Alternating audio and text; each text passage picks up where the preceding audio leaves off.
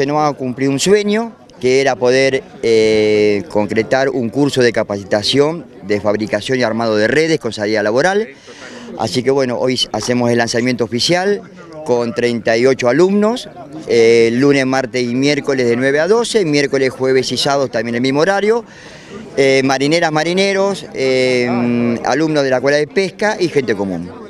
Bueno, ¿qué es lo que hacen concretamente en esta capacitación?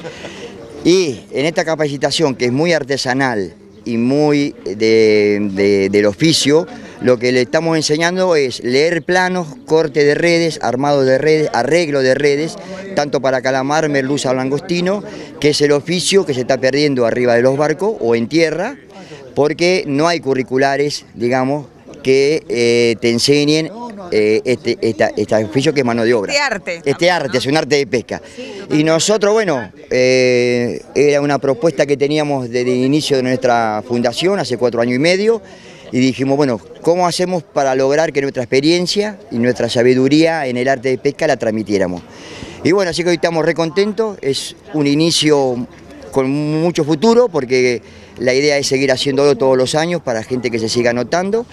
Tenemos apoyo del gobierno municipal, del gobierno provincial, tenemos apoyo a las instituciones eh, como PAMI, ANSE, las empresas. La verdad que hay un núcleo de gente comprometida con nosotros que también nos da fuerza a hacerlo. ¿no? ¿Cuándo finaliza esto? El viernes 23 de diciembre estamos entregando los diplomas y haciendo un cierre de esta capacitación.